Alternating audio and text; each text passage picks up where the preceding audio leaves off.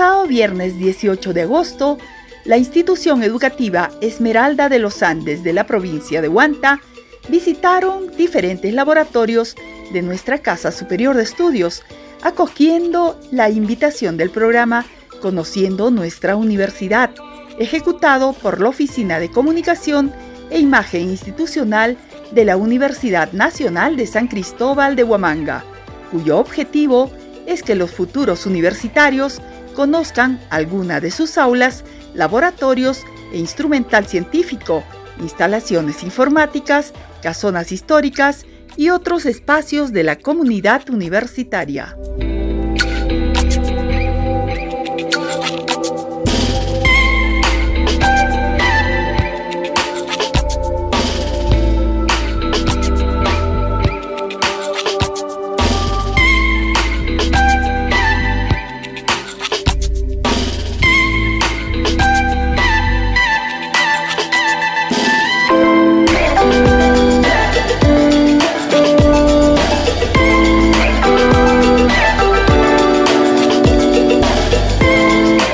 Luego de una cordial bienvenida realizada en el auditorio de la Escuela Profesional de Ingeniería Civil por el jefe de la Oficina de Comunicación e Imagen Institucional, licenciado Saúl Barrientos Garay, y este, le damos la cálida bienvenida a nuestra universidad, sea bienvenido y que esta visita sea también de motivación para que sean ustedes futuros san cristobalinos, futuros cachimos de esta prestigiosa universidad, porque tiene 28 carreras profesionales, como ustedes saben, seguramente algunos les han explicado, medicina humana, medicina veterinaria, agronomía, agrícola, eh, ciencia de la comunicación, educación, biología y entre otros, ¿no? para que ustedes puedan elegir si en caso prefieren hacer, en este caso, la academia y postular a esta casa superior de estudios.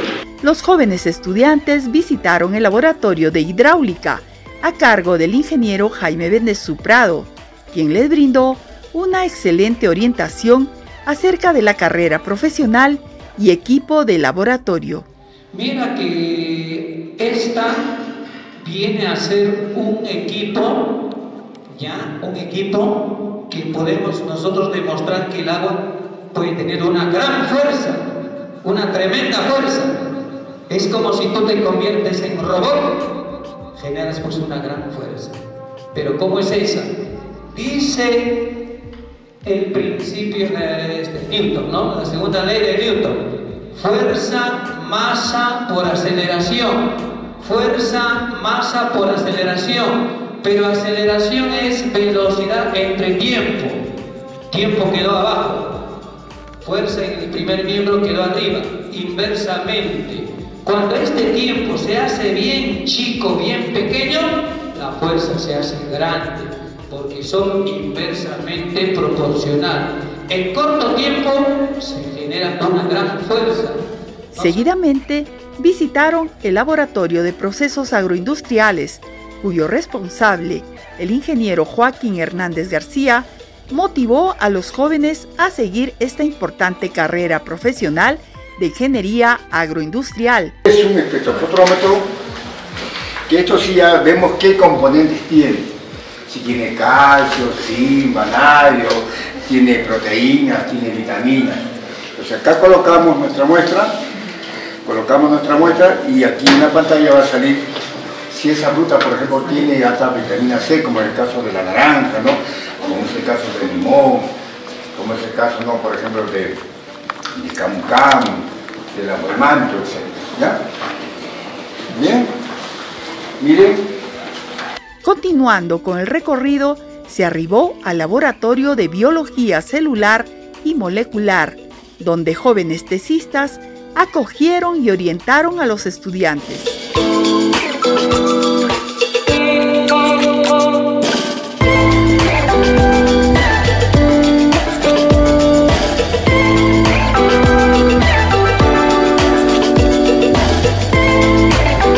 Continuó la visita por los distintos laboratorios de la Escuela Profesional de Obstetricia, donde los obstetras Clotilde Prado, Melchora Ábalos,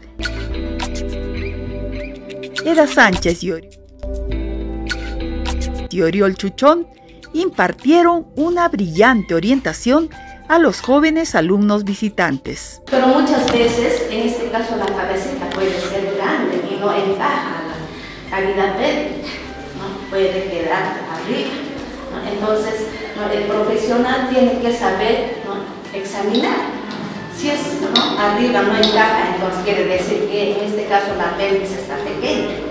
Entonces, en este caso, una vez que va, que va a evaluar, lo va ¿no? y a tomar otra conducta profesional, porque en esta condición no puede someter a un trabajo de parto normal. ¿Qué estaría pasando? Estaría con la vida del, ¿no? en este caso del feto y da mal. Para finalizar el recorrido por la ciudad universitaria, se visitó el taller de televisión de la Escuela Profesional de Ciencias de la Comunicación, donde fueron recibidos y orientados por el magíster Américo Pillaca.